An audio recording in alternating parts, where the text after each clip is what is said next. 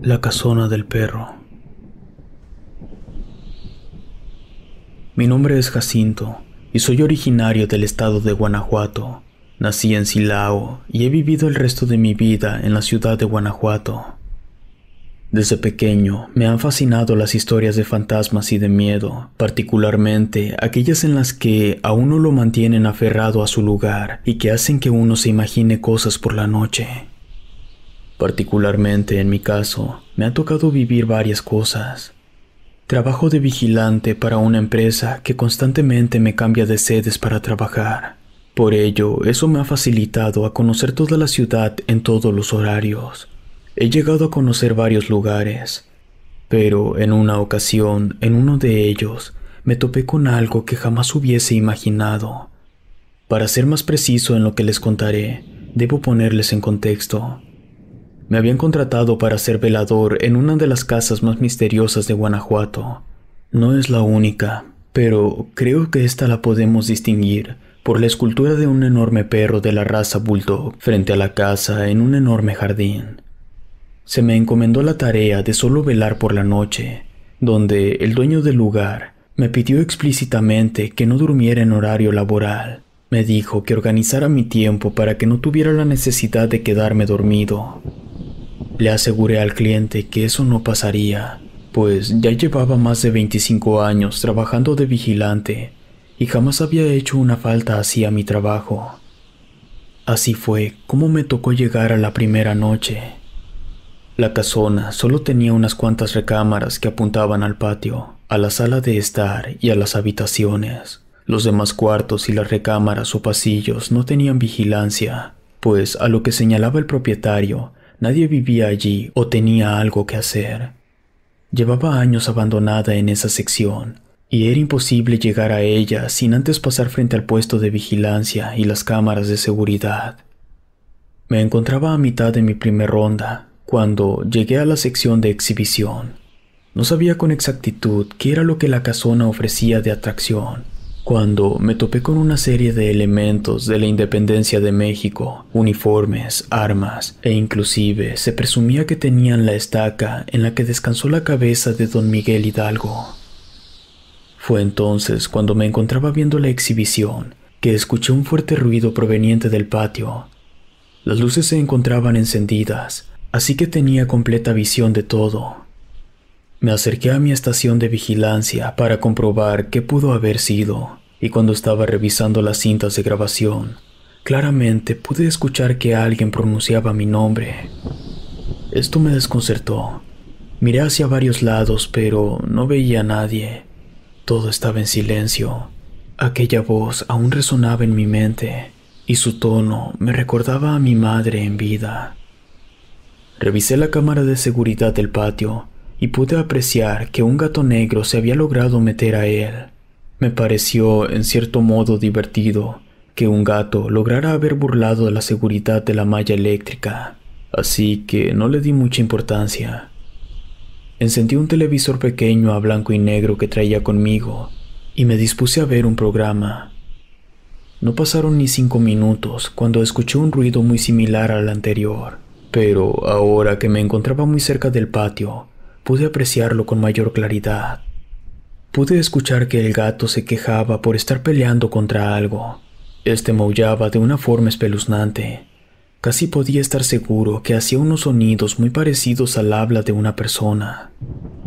Quise ver por la cámara de seguridad contra qué se estaba peleando. ¿Y cuál sería mi asombro? Que la escultura del perro ya no se encontraba en su lugar. La sangre se me heló, pues lo primero que pensé en ese momento fue que alguien se había metido a robar en mi turno, y encima me habían burlado. Pude ver que el gato negro escapaba con la cola entre las patas. Tomé la macana y la pistola que me habían otorgado, y con lámpara en mano salí al patio lo más rápido que pude, pues tenía que abrir las puertas del acceso para llegar allí cosa que me llevó aproximadamente unos 20 segundos, y al salir por fin me encontraba totalmente desconcertado, pues allí estaba la escultura del perro parado sobre sus cuatro patas. Pero, para ser honesto, no recordaba si esa era su posición original, pues cuando llegué Solo recuerdo haber visto que había una escultura de un perro, mas no le di importancia a la posición en la que estaba. Revisé el exterior por si había algo, pero no encontré nada. Hacía bastante frío, que hasta el vapor de mi boca salía, así que decidí dejar hasta allí la búsqueda. Pero cuando pretendía regresar, me encontré con algo que me dejó pensativo. Sobre la jardinera había un par de patas grandes marcadas, igual que las de un perro grande, y en el piso las marcas de las patas llenas de lodo y tierra se marcaban hasta la entrada. Sea lo que fuera, aquello era más grande que un perro normal. Revisé rápidamente a mi alrededor y al no ver nada, decidí regresar a mi puesto. La noche desde allí transcurrió tranquila. El vigilante siguiente llegó a relevar mi turno diez o quince minutos después de que terminara mi jornada. Se presentó ante mí pidiendo disculpas de antemano, pues me comentaba que por dentro no tenía intenciones de llegar ya que decía que le pasaban cosas extrañas en la madrugada y prefería llegar cuando hubiese más luz. Yo acepté sus disculpas y por mi parte no tenía que llegar a entregar cuentas a nadie, pues vivía solo y a mi edad avanzada no tenía actividades que hacer. Al salir al patio para regresar a mi casa, recordé lo de las huellas. Con el pie, empujé un poco la tierra hacia la jardinera para dejar un poco más limpio el lugar cuando llegué a la escultura del perro, me quedé un momento en silencio asimilando lo que veía, pues no me había percatado de que en las cuatro patas de aquel animal había lodo. No daba crédito a lo que miraba. Era imposible que aquel perro se hubiera bajado del pedestal para perseguir al gato. Ya me encontraba cansado y quizás solo quedaba descansar, así que le limpié las patas y a manera de juego le acaricié la cabeza despidiéndome de él. Cuando yo era pequeño tenía un bulldog parecido a él y le gustaba que lo acariciara. Fue en ese instante que me di cuenta que su cabeza ya no veía la entrada principal, ya apuntaba hacia el lado contrario de la cerca. Confundido, retiré mi mano de su cabeza y me dirigí a mi casa. Al llegar, la situación no fue un tanto normal. Ya era mediodía cuando me encontraba dormido, solo descansar boca arriba con el cuerpo extendido por completo en la cama, con uno de los brazos colgando. Pero aún dormido tenía la sensación de estar alerta, y entre dormido y despierto, podía escuchar aquella voz que se parecía a la de mi madre. No me asustaba, de hecho la extrañaba. Me llamaba por mi nombre, e incluso me platicaba cosas. Mi madre ya había fallecido muchos años atrás. Fue en ese momento que pude sentir que algo pasaba debajo de mi mano. Me estremeció aquella sensación. Desperté rápidamente, pues no esperaba que algo estuviera allí. Pero al revisar, no había nada. Ya no pude dormir más después. Al regresar a la casona, lo primero que vi fue al perro vigilando tal cual la posición en la que lo vi la última vez. El dueño de la casona ya me estaba esperando. Lo saludé y me respondió el saludo preguntándome algo raro en ese momento. Visitó las exhibiciones después de haber ido al patio. Me preguntó seriamente. Yo le comenté que mi última visita a vigilar había sido el patio Sí había asistido a las exhibiciones, pero esa fue la primera parte de mi rutina. Me comentó que había encontrado pisadas de alguien frente a una de las vitrinas.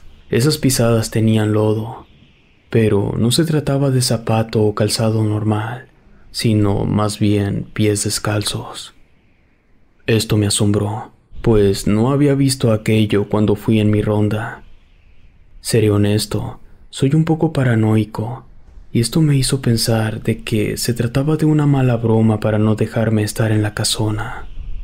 Le aseguré al dueño que revisaría perfectamente y si lograba ver algo fuera de lo común, se lo comentaría.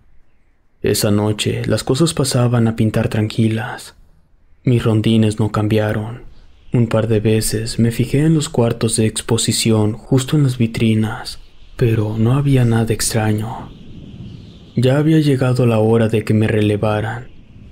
Le pedí a mi colega que me esperara un poco para revisar una última vez, y todo parecía ser normal. De ese modo fue toda la semana completa, y con el paso de los días ya había pasado una semana exacta desde lo que me había pasado. De ese modo fue toda la semana completa. Ya había olvidado el tema, pero la noche en la que cumplí la semana exacta, las cosas se volvieron a tornar extrañas. Me encontraba viendo la televisión. Ya pasaban las dos de la madrugada cuando comencé a cabecear. No había descansado muy bien ese día y tenía algo de sueño, así que decidí dormir unos 15 minutos para recuperarme y no estar tan intoxicado por el sueño. Puse alarma a mi teléfono y lo coloqué justo al lado mío en una repisa. Después me quedé dormido. Hubo algo que me empezó a molestar. No habían pasado ni unos minutos cuando sentía que una mosca me brincaba sobre la mejilla. Yo la ahuyentaba espantándola con la mano. Tenía los ojos cerrados. No quería perder el sueño que apenas estaba agarrando. Pero ésta regresaba a molestarme. Incluso pasaba sobre mi frente. Ya cansado, mientras ésta se encontraba sobre mi mejilla, rápidamente intenté agarrarla con la mano en vez de espantarla y al momento de cerrar mi puño, pude sentir que agarraba los dedos de alguien. Esto me exaltó, provocando que diera un brinco en mi lugar. Miré a todos lados, pero no había nadie. Aún podía sentir los dedos que había agarrado. Solo la luz de la recepción era la única que alumbraba en ese momento.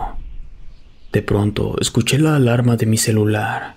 Estaba al otro lado del escritorio, Creo que en el sobresalto lo había tirado y no me había dado cuenta. Apenas estaba por acercarme del otro lado del escritorio a recogerlo, pero algo sucedió en ese instante. Mi celular fue aventado al fondo del pasillo. Me encontraba perplejo ante lo que me estaba sucediendo. No tenía explicación alguna. Rápidamente fui a recogerlo y cuando me agaché por él, escuché que alguien encendía mi televisor. Esto ya era una broma de mal gusto. Me acerqué lentamente y al fijarme no pude ver a nadie allí. Decidí prender más luces, eso me ayudaría a sentirme más tranquilo. Y cuando me acerqué al interruptor, una ventisca de aire pasó sobre mí. Sentí un escalofrío inquietante y justo detrás mío escuché que alguien pronunciaba nuevamente mi nombre. Ya no podía más con esto me encontraba bastante asustado que tenía que salir de allí. Me apresuré para ir al patio, cuando otra vez desde el ventanal pude ver al perro de pie observando dentro de la casona. Sus ojos eran rojos, atentos a mí. Rápidamente me acerqué a recepción para buscar mi macana, pero en ese instante escuché que el animal corría hacia la casona. Miré hacia las cámaras de seguridad, pero no se veía nada. Solo podía escuchar ladridos en los cuartos de exhibición. En ese momento, me percaté que en el patio, justo donde debería estar la estatua del perro, esta no se encontraba allí. Pasaron unos minutos. Los ladridos aún se escuchaban. Yo me encontraba agazapado debajo del escritorio de la recepción cuando escuché que aquel animal regresaba. Podía escuchar sus uñas al caminar por el piso me asomé por una orilla del escritorio y no veía nada. Y de repente, frente a mí, apareció este animal olfateando, pero se alejó sin hacerme caso alguno. Esperé un par de minutos y me asomé. Las cosas parecían estar más tranquilas, y al ver por el monitor que daba al patio, la estatua del perro se encontraba allí, inmóvil. Les puedo jurar que esto es verdad. No pude aguantarme y esa mañana le platiqué a mi relevo lo que había pasado. A él pareció darle un poco de gracia y me explicó el por qué para que no lo malinterpretara. Me contó que el dueño de la casona había conseguido un relicario muy valioso que estaba justo en una de las vitrinas. Constantemente era visitado por algo maligno en ciertos días sin embargo, el perro, que ya tenía mucho más tiempo que muchas o todas las exhibiciones de la casona, se encargaba de cuidar y ahuyentar a lo que se acercara a ellas. Siendo muy honesto, me pareció una historia disparatada, pero a decir verdad, me generó temor. No les mentiré, Hoy en día cuando llego, una de las primeras cosas que hago es acercarme al perro para saludarlo y en ocasiones le pido de su ayuda.